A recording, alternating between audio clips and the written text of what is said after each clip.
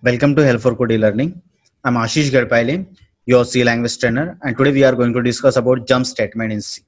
So what are jump statement guys? Jump statements are like break, continue and go to keyword. So here we are going to discuss about the break, continue and go to keyword. So what is break statement? Break statement means it is used in for loop or switch case. Okay, we have already used about the switch case. So what is where we can use break statement so it is used in loop or switch case okay it is a keyword of c language and used to terminate currently execution looping statement it is allowed within looping and switch statement it is also as a jump statement okay okay? तो हम लोग जो है इसको use कर करते हैं हम लोग लूप के अंदर में हम लोग यूज़ करते हैं इसको हम लोग जो है स्विच के अंदर में यूज़ करते हैं इसका काम क्या होता है एग्जिट करना उस पर्टिकुलर बॉडी से तो जो भी ओपनिंग ब्रेसेस और क्लोजिंग ब्रेसेस जो हम लोग यहाँ पे यूज़ करते हैं तो उस ब्रेसेस को जो है क्या करता है, उसके आउट ऑफ़ द आ जाता है। जब हम लोग इस ब्रेक का यूज़ करते तो आपने स्विच केस में देखा था कि किस तरीके से काम करता था।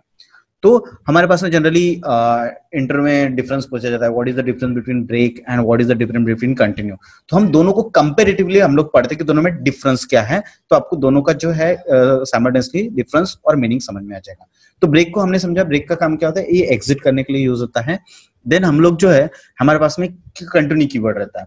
तो what is continue it is a keyword of C language and use to continue the currently execution looping statement इसका काम क्या होता है कि जो करंट में जो लूप चल रहा होता है, उसको एग्जीक्यूट करता है। जबकि ब्रेक क्या करता है? ब्रेक उसको जो है, वहीं पे स्टॉप कर देता है। ठीक है? और इसको जो है, हम as a jump statement use कर सकते हैं। The continue statement is opposite to that break statement instead of terminating it is continue in the iteration मतलब ये क्या करता है कि ये जो है आपका अपोजिट है किसका? ब्रेक स्टेटमेंट का। ब्रेक क्या करता है कि ब्रेक अगर जहाँ पे आपको, आप, उसको एग्जीक्यूशन कंट्रोलर को जो है ब्रेक दिखा तो ये क्या करता है ये उसको वहीं पे स्टॉप कर देता है। ठीक है? लेकिन जो हमारा कंटिन्यू स्टेटमेंट ये क्या करता है, वो पर्टिकुलर उस टाइम के लिए वो ब्लॉक छोड़ देता है और सीधा अपने लुक को क्या करता है कंटिन्यू करता है। तो हम दोनों में उस प्रोग्राम का डिफरेंस देखते हैं और डिफरेंस देख के समझते हैं कि उनमें क्या डिफरेंसेस है। तो सबसे पहला है हमारे पास में ब्रेक स्टेटमेंट तो ब्रेक स्टेटमेंट में आप देखिए कि ब्रेक स्टेटमेंट में हमने क्या किया कि मेरे पास में एक लूप है, चालू हो रहा है वन से लेकर टेन तक। तो आई की वैल्यू अभी क्या है वन है। और one less than ten condition satisfied yes condition satisfied फिर हम लोग इनर में चेक कर लें कि if I equals to equal to five I का वैल्यू फाइव है क्या? अगर आई का वैल्यू फाइव है तो ब्रेक अदरवाइज़ वो क्या करे आई का वैल्यू प्रिंट करे फाइव है। क्या? नहीं है तो वन प्रिंट किया। Loop continue I plus plus I value will be two two less than equals to yes, condition satisfied. It will again check, i equals to equals to 5 no.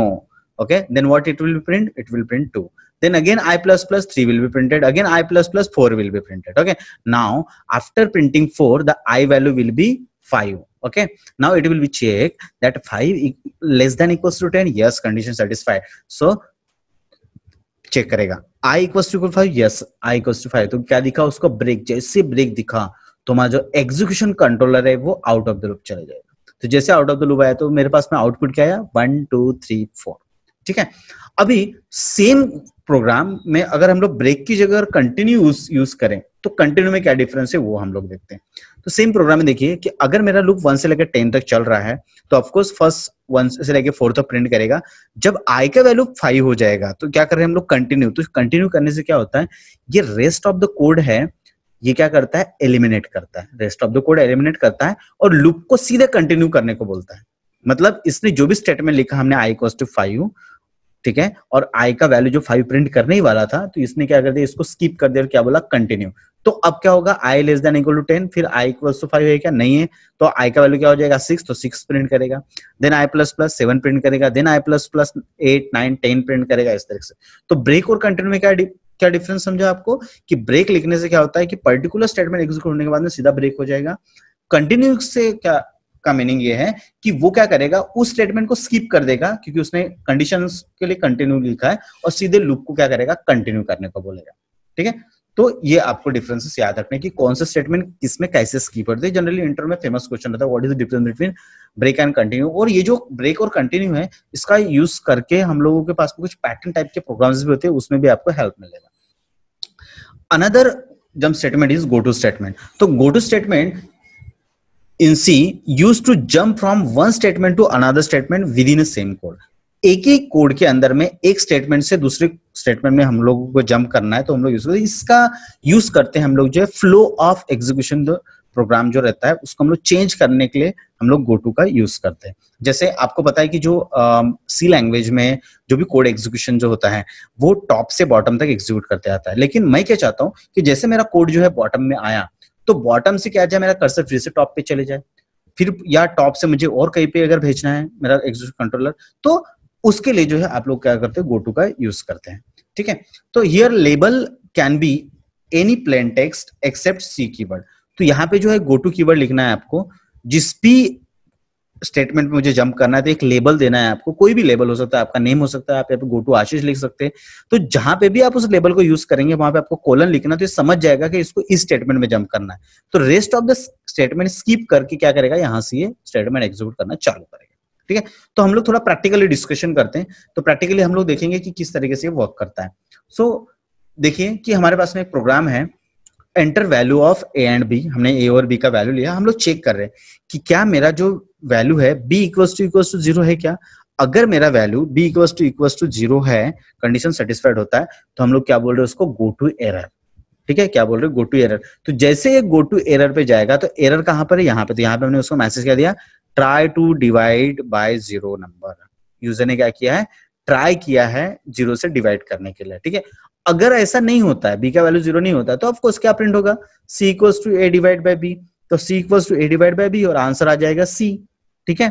C equals to A divide by B और answer क्या आ जाएगा सी और फिर हम यहाँ पे check करें कि बी इक्वल इक्वल ज़ीरो है क्या? नहीं है, इसका मतलब स्टेटमेंट एग्जीक्यूट होगा क्या? नहीं होगा, सीधा गेट से। हमने ये कंडीशन किस किस लिए लिखा है बी इक्वल ज़ीरो अगेन कि इनकेस अगर बी अगर ज़ीरो नहीं हुआ, उस केस में क्या करेगा? इसको तो ये प्रिंट कर देगा ना। तो इसलिए हमको क्या करना है इसलिए मैंने चेक करना है कि बी इक्वल इक्वल ज़ीरो नहीं तो क्या होगा? एक्सटर्नल कंट्रोलर सीधा आउट ऑफ़ द स्कोप आ जाएगा। ठीक है? तो हम लोग जो है इसे इस प्रोग्राम को हम लोग प्रिंट करके देखते हैं। सो आपको थोड़े से और लॉजिक क्लियर हो जाएँगे।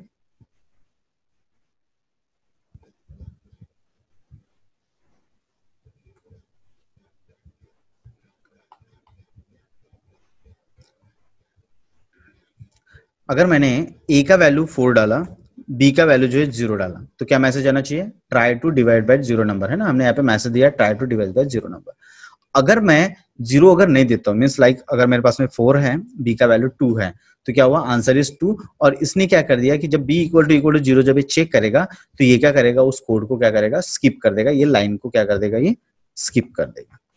वॉट इट गेस और अगर मान लीजिए, चलो हम लोग इसको कमेंट करके देखते हैं। तो क्या होगा? एग्जीक्यूट कंपाइल ए का वैल्यू है फोर बी का वैल्यू है टू ठीक है? तो इसने क्या किया? इसने आंसर भी दिया और साथ में एक स्टेटमेंट दिया try to divide by zero क्योंकि हमने यहाँ पे कंडीशन नहीं लगाई थी। तो ऐसे केसेस में आपको जो है कुछ कंडीशंस लगा के इसको आप लोग जो है एलिमिनेट कर सकते